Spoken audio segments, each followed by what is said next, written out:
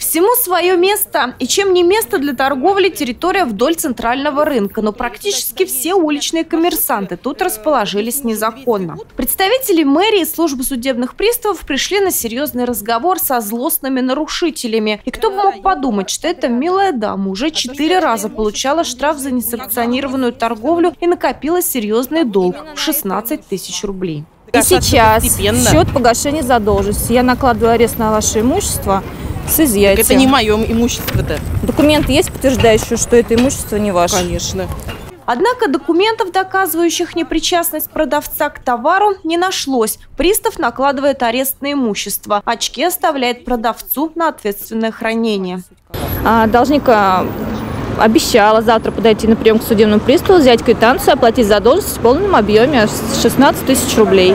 Если за 10 дней задолженность не погасит, имущество будет изъято и передано на реализацию в принудительном порядке. А как иначе заставить женщину оформить свою деятельность по всем правилам? Кроме того, товары в местах стихийной торговли могут быть опасны для здоровья, тем более если речь идет об оптике.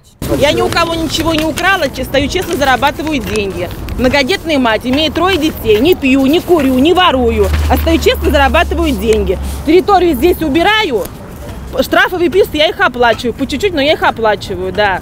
Женщина утверждает, что долг оплачивает каждый месяц по 500 рублей. Правда, у пристава подтверждения этому нет. Теперь продавцу придется расстаться за раз с куда более крупной суммой. И, возможно, это и побудит многодетную мать оформить свою деятельность и получить разрешение.